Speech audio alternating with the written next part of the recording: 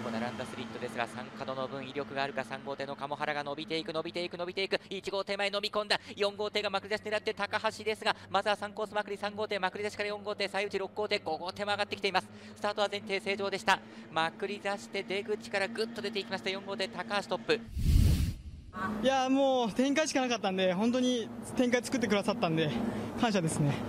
そうですね。いやもう引いてくれないとちょっともう自分じゃ伸びないんで本当に助かりましたちょっと乗りづらいですねやっぱちょっと乗りづらいしやっぱちょっと後半前半終わってちょっとマフラー変えたんですけどちょっと回転は上がってちょっとペラ調整が失敗したかなと思います。はい。いや、もう、乗り心地だけ求めて、レースしやすいようにします。えっ、と、優勝できるように頑張ります。応援よろしくお願いします。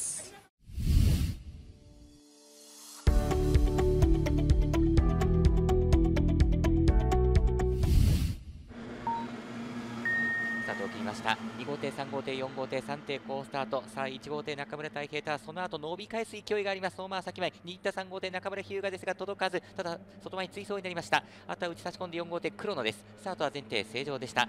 1号艇中村太平トップ。そうですね足がしっかりしているのでしっかり逃げれたと思います。ちょっと重たかったんですけど、まあ、微調整程度できましたね。バランス取れてて上位の部類だと思いますね。そうですねもう微調整程度で足しっかりしているのであの気温と気圧とかに合わせていきたいですね。えー、明日の優勝戦も頑張ります。優勝できるように頑張ります。応援お願いします。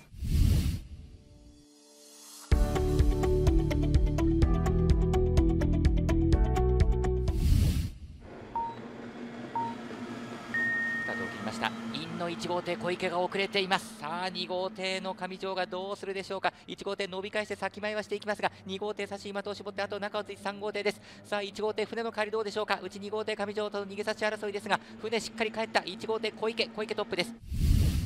あの優勝戦入っても一頭取れるような足はしてると思うんで頑張りたいと思います。ちょっと失敗したので明日はしっかり修正したいと思います。優勝します。応援お願いします。